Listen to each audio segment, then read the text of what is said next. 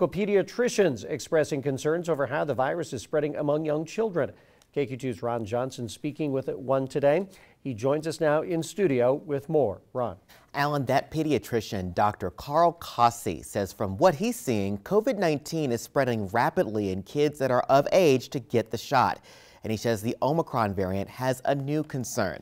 He says while it's true the Omicron variant is less severe overall, it's a different case for kids. We spoke with him today on what he's seeing from hospital data. The numbers, I believe they're getting worse. The number of uh, children infected uh, with COVID seems to be higher. The hospital can release those numbers. They have the numbers that go through the ER. From my perspective, I get to see the ER reports, and it just seems to me that there's more and more uh, families, because when it hits one, it's typically the whole family, that are having uh, COVID. Dr. Kosse says with relaxed restrictions on masks and social distancing compared to this time last year, he fears those numbers will grow despite vaccinations. He also recommends people get their flu shots this year because with the current surge of Delta and Omicron coupled with a more normal flu season this time around, it could be what he calls a perfect storm.